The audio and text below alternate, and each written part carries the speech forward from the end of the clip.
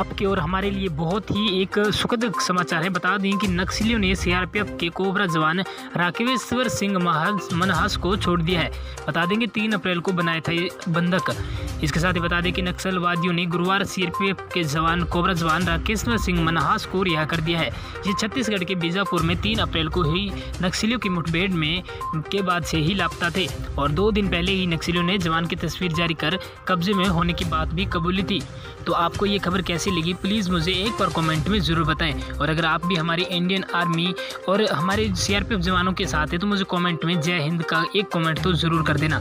और इसके साथ ही चैनल पर नए हैं तो सब्सक्राइब कर दें, ताकि इसी तरह की ज़बरदस्त खबरें और बड़ी खबरें आपको मिलती रहे। बता दें कि नई दिल्ली जो केंद्रीय रिज़र्व पुलिस कोर्स फोर्स के कोबरा कमांडर रामेश्वर सिंह को नक्सलवादियों ने गुरुवार को रिहा कर दिया है।